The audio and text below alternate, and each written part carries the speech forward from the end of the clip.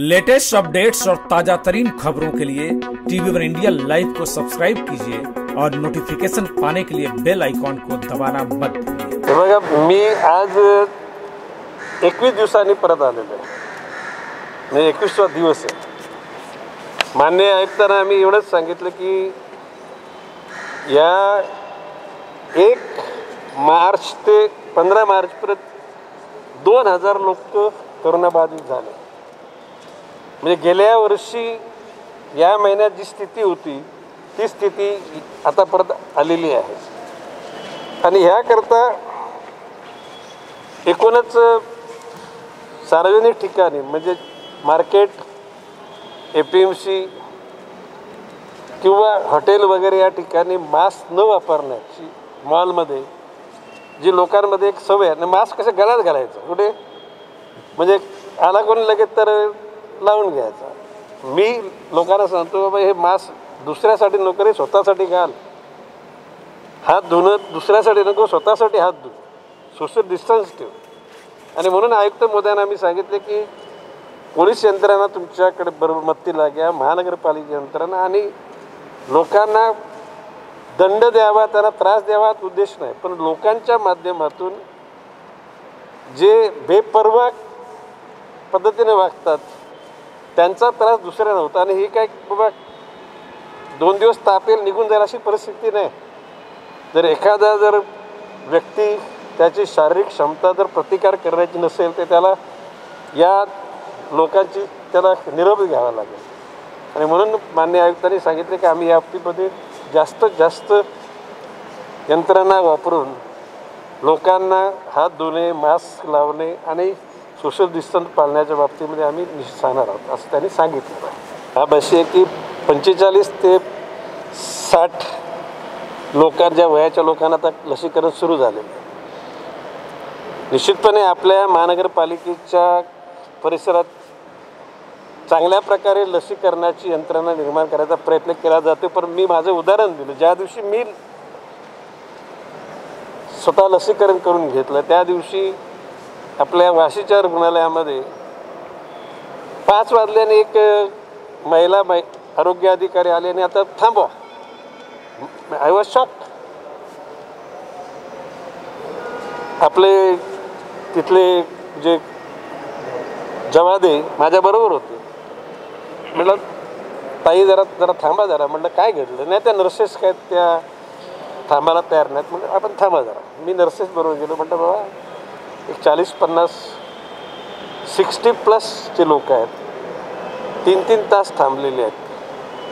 आणि अशा परिस्थितीमध्ये जर तुम्ही जर सांगितलं आता तुम्ही जा घरी तर उद्या परत यावं लागेल त्याला कारण हे घेणंच भाग आहे. तर थोडे मी विनंती करतो तुम्ही जरा आपले काका आपले मामा आपले वडील समजून या लोकांना ट्रीट करा. नंतर त्या नर्सेसनी त्यांनी अतिशय चांगल्या विचारानं सांगितलं साहेब आम्ही सगळ्यांना लस देऊन शेवटच्या घटकाला लस देऊन आणि नंतर जाऊ आणि ते नंतर दिली लस. अशा प्रकारचे सेवा करताना त्यांना त्रास असतो असं. मी असं म्हणत नाही. परंतु त्रासिकपणे त्या ठिकाणी अशा प्रकारे वागणं बरं नाही. म्हणून आयुक्त मोदानं सांगितलं की थोडासा त्या त्यांचासुद्धा आत्मविश्वास वाढवा. त्यांचासुद्धा थोडं शाबासकी द्या. त्यांना काय जेवण खावण जे काय गरजेचं आहे ते पण सगळं द्या. किंवा एकूण बारा काय कोणी काय त्या ठिकाणी इंजेक्ट करण्याचं काम करू शकत नाही तर त्याला विश्रांतीची गरज आहे. आता मी आम्ही मागणी केली की द प्रत्येक वॉर्डमध्ये कोविड से आपले लसीकरणाचं सेंटर ठेवा. आणि तुम्ही मगाशी म्हटल्याप्रमाणे ही जी दोनशे पन्नास रुपये जी लस करण्याचा कारण दीडशे रुपये लसीचे आणि शंभर रुपये त्यांचे मॅन पॉवरचे तर आम्ही सांगितलं की तुम्ही त्या रुग्णालयानं आपल्याकडे पैसे द्या परत. कोणाला? शेवटी खाजगी रुग्णालय. म्हणजे शेवटी आपल्याला लवकरात लवकर आटपायचं म्हटल्यानंतर. आणि साधारणपणे वीस टक्के लोक अजून ते दहा पंधरा हजार रुपये वीस हजार रुपये भरतील. परंतु ऐंशी टक्के लोक हे पैसे नाही भरू शकत. आणि काय फरक पडतोय? आणखी अडीचशे रुपयाच्या अनुषंगाने सगळ्या लोकांना दिले गेले तर. किती साधारणपणे साडे साडे साडे सदोतीस कोटी रुपयाचा फरक पडतो साडेसदोतीस कोटी रुपयामध्ये आपल्या नैमित्य जनतेला जर काही एक आप- आपलेपणा वाटेल आणि त्या अनुषंगाने त्यांनी भूमिका घेण्याचं सांगितलेलं आहे आणि बघूया आता काय होतं. तर बाब अशी आहे की त्यांची भूमिका आम्ही मांडताना की पन्नास वराडी आणि कॅटरर जर पकडलं तर कॅटररचे लोक पन्नास असतात. त्या बाबतीमध्ये त्यांनी निश्चितपणे विचार करण्याचा शब्द दिलेला आहे. कालच मी एका लग्नाला गेलो तो सीवूडला रस्त्याच्या आजूबाजूला गाड्या गाड्यामध्ये लोक ए सी चालू करून थांबले होते. तर मी विचारलं काय? तर जसे इथले दहा लोक निघाले की इथले दहा लोक त्या गाडीमधून उतरतात आणि वर जातात. शेवटी कोरोनाच्या कालखंडामध्ये प्रादुर्भाव होणार नाही याच्याकरता एकूण जे नॉर्म्स आहेत त्या नॉर्म्सचं सुद्धा पालन करण्याची गरज आहे. परंतु ही शिथिलता झाल्यानंतर लोकांनी त्याचं गांभीर्य न ओळखता जर ते लोक वागले तर त्याचे परिणाम भोगावे लागतील. त्या लोकांची जी अडचण आहे श- आता पन्नास लोकांच्या ऐवजी शंभर लोक दिले तरी कॅटरला परवडणार आहे का? नाही परवडणार. साधारण म्हणजे पाचशे हजार दीड हजार दोन हजार आणि जास्तीत जास्त लोक यावीत आणि धंदा व्हावा हा कॅटरचा उद्देश असतो आणि त्याने काय त्याच्या चुक चुकीचं काही नाही आहे श्रम करून त्याने दो दोन पैसे कमवणे त्यांचा उद्देश आहे. तर त्या बाबतीमध्ये तुम्ही सांगितली भूमिका बरोबर आहे. थिएटरमध्ये जर काय त्याला हजारची संख्या असेल पाचशे लोकांना तुम्ही बसू देता. तर या ठिकाणी लग्नालामध्ये का नाही? हॉलची क्षमता बघून आता एक एकूण केंद्र सरकारने जे नॉर्म्स दिलेले आहेत त्याच्यामुळे हा तसा प्रकारचे तर केंद्र सरकारच्याच म्हणजे मंत्री महोदयांना पत्र मी पण माझं पाठवणार आहे. आपल्या पोल म्हणजे आयुक्तांना पत्र पाठवेन पोलीस आयुक्तांना पाठवेन. जे ज्या यंत्रणा त्यांच्याकडून ही जर थिएटरमध्ये ही गोष्ट घडते तर मग कॅटरिंग म्हणजे हॉल लग्नाच्या हॉलमध्ये मुंज होणाऱ्या हॉलमध्ये किंवा एखाद्या वाढदिवसाच्या हॉलमध्ये हे काय होऊ नये व्हायला पाहिजे. आणि ह्या मताचा मी आहे. फक्त एकच आता मला सांगतो की लोकांनी शिस्त पाळली तर हजार लोकं आली तरी सुद्धा काय प्रॉब्लेम होणार नाही. परंतु मी मगाशी म्हटल्याप्रमाणे लोक फक्त मास्क गल्याभोवती ठेवतात. काही लोकांचा नाकावर नाकाच्या खाली मास असतो काही तर नाक आणि तोंडाच्या खाली असतो. याचे दुष्परिणाम सर्वसामान्य माणसाला भोगावे लागतात. ह्याचं भान सगळ्यांनी ठेवलं तर बरं केल्या केल्या. प्रश्न असा की ज्या ठिकाणी नाका कामगार आहेत किंवा आता प्रश्न असा आहे आपण बेगर म्हणतो भिकारी. त्याला बिचाराला राहायला जागा नसते कुठे दिशा नसते कोणी त्याला काही काही लोकांना वारसदार पण नसतो. अशा लोकांचं काही रेकॉर्ड कुठं नाही आहे त्याला आधार कार्ड आणि काय मग त्या बाबतीमध्ये जे साधू आहेत काही साधू लोकांचं म्हणजे कसलं ते राहण्याचं ठिकाण नसतो ते प्रत्येक धर्मामध्ये. आपण साधू म्हणतो भिक्षुक म्हणतो मुल्ला म्हणतो मौलवी म्हणतो प्रिस्ट म्हणतो या सर्व लोकांना सुद्धा त्या अनुषंगानं लस देणं गरजेचं आहे. तर त्या अनुषंगानं तुम्ही सकारात्मक विचार करावा असा मी सांगितलेला आहे आणि त्या बाबतीमध्ये ते विचार करणार बाब की एखाद्या माणसाने ठरवलं की एखादा पदार्थ बिघडवायचा जरी एखादा जुना पदार्थ बनलेला जर गटारात टाकला तरी सुद्धा नवीन पदार्थामध्ये सुद्धा चलाखी करून त्या ठिकाणी काही गोष्टी त्याचा उद्देश अनुषंग आणि माझा दाट संशय आहे की या ठिकाणी काही अधिकारी जाणून बुनून कोणाच्या दबावाखाली का कोणाच्या स्वतःच्या स्वार्थापोटी अशा काही गोष्टी ज्या इकडे गेलेली प पलीकडे गेलेली नावं आहेत ते सेट करताना त्याच्यामध्ये गडबड गोंधळ करण्याची शक्यता आहे. आणि आम्ही आमचा संशय व्यक्त केलेला आहे. मान्य आयुक्तांनी आयुक्तांना सांगितलं तुम्ही तुमच्या तशा लोकांवर नजर ठेवा आणि कोण आहे ते शोधा.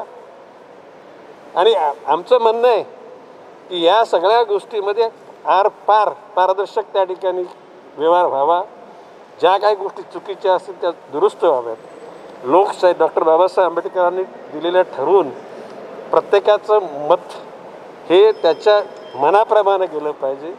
आणि निवडून आलेला प्रतिनिधी लोकशाहीच्या चौकटीमधून निवडून आलेला पाहिजे. कसल्याही प्रकारचं म्हणजे money power muscle power chair पॉवरचा त्याचा वापर होता कामा नये अशी आमची भूमिका आहे. बाब अशी आहे की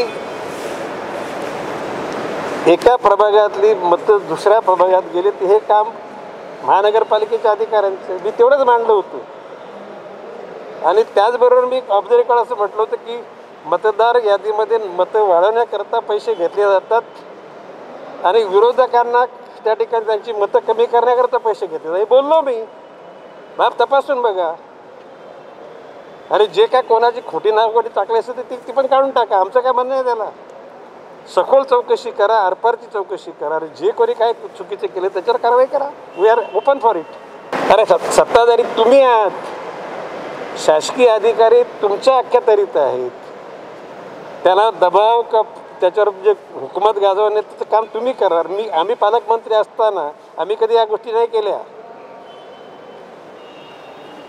आणि ज्या कोणा ज्या कोण कोणाला संशय असेल ना त्या सरकारने आरपारची इन्क्वायरी मागावी ना. We are there to support their demand त्याने केलेल्या मागणीला पाठिंबा द्यायला आम्ही पाठिंबा देतो. टोटल असलेला जो अधिकार ज्याचा आहे त्याला अधिकार मतदानाचा मिळाला पाहिजे. ज्याचा अधिकार नाही तो कोणी जर निर्माण करत असेल तो अधिकार नाहीसा केला. नाही नाही आता आता- आता सिडको काही काम राहिलंच नाही. ते मी मी फार अगोदर बोललो की सिडकोने निघून जावं. आता सगळे अधिकार हे महापालिकेला द्यावेत. नवी मुंबईमध्ये ज्या प्रकल्पग्रस्तांनी गरजेपोटी घरं बांधली दुकानं बांधली ती रेग्युलाइज करून त्याच्या खालची जागा त्यांची करावी. मालकी हक्क त्यांना मिळावा जमिनीचा. म्हणजे जेणेकरून भविष्य कालामध्ये टंगती तलवार राहणार नाही. ही मागणी मी विधानसभेत केलेली आहे. वक्त में घेरा बिराव की इच्छा नहीं है. जाके जो दुख है लोगों का, वो अधिकारी को बोल के उनके माध्यम से वो दुख मिटाना है. अभी महानगर पालिका नई मुंबई को जितना पानी एम से आना है, उसमें कटौती यदि करते होंगे तो एम के अधिकारियों को हम लोग एक बार सूचित करेंगे. फिर भी उन पे कोई फ़र्क नहीं पड़ा. तो लोगों के लिए रास्ते पे आना, लोगों के लिए आंदोलन करना, ये महात्मा गांधी जी ने बताया हुआ है कि जब तुम्हें कोई अन्याय की बात दिख रही है तो तुम लोग चौकट में, कानून के चौकट में आके सत्याग्रह करो और करेंगे हम लोग। देखिए, बात कि गार्डन में जिस ढंग से कोई कुत्तों का गार्डन बनाया है, ये- ये गलत बात है ना? कुत्ते आप संभालो वे- मैंने प्राणी पे प्यार करना कोई गुनाह नहीं है। लेकिन जो प्राणी को आप लोग प्रोटेक्ट करते हो, उसकी देखभाल करना आपका फ़र्ज़ है। वो यदि जाके गार्डन में वो टटिंग करेगा, कुछ भी करेगा और वो- आप बोलेंगे, नहीं, वो ये कुत्तों का गार्डन है। तो वो नहीं चलेगा। जो हिफाजत आपको करनी है, आपको करनी ही पड़ेगी। और इसके लिए हमने बोला है कि हर गार्डन में एक वॉचमैन होना चाहिए। अभी कम हो गए तो रिक्रूट करो और सब गार्डन में सुरक्षितता बहाल करू. नाही नाही नाही हे बघा प्रक सिडकोचं काम संपलेलं आहे. सिडकोने आता इथून निघून जावं. ज्यांचे अधिकार आहेत त्यांना बहाल करावेत. म्हणजे आता लोकांची देखभाल करणारी यंत्रणा महानगरपालिका हे सगळे महानगरपालिकेकडे सोपवावे.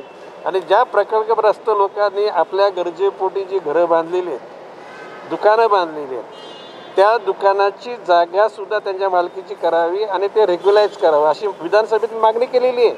आणि म्हणून काला दिवस तर प्रश्न असा की जिथं अन्याय होतो तो प्रत्येक दिवस काला दिवस असतो.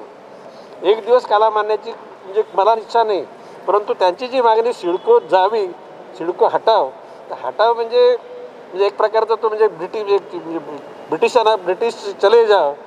एक एक टॅगलाईन म्हणून बनते समजा परंतु सिडकोने इथला कारभार आता वाईंडअप करून तो प्रकल्पग्रस्तांची जी किंवा ज्या ज्या ज्या लोकांच्यावर अन्याय झाला त्यांचा तो अन्याय दूर करावा आणि महानगरपालिकेकडे सपूर्द करावा. त्याच्यामध्ये जी ॲक्विशनची पद्धत आहे ती थोडीशी नियमाप्रमाणे झालेली नाही. म्हणजे कशाला का औरंगाबादची जी ॲक्विशनची पद्धत निराली होती इथे ॲक्विशनची पद्धत निराली आहे.